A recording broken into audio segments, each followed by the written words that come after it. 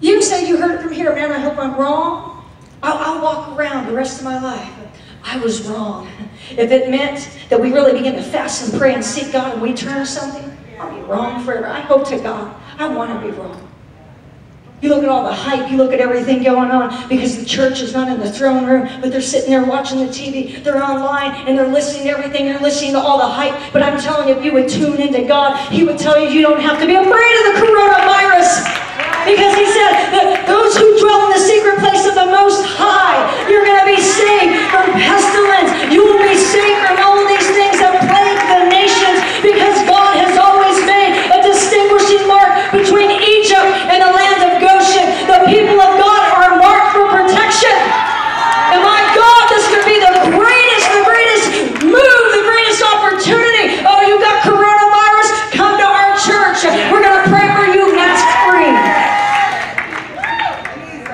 Do you honestly, truly, really think there are no masks available?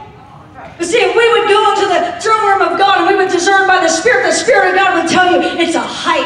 It's because they're trying to turn the nation. They're trying to flip everything upside down. Because I'm telling you, whether you like everything that's going on, it is not about a personality. It's not about all this stuff in the political realm. It is about an antichrist spirit.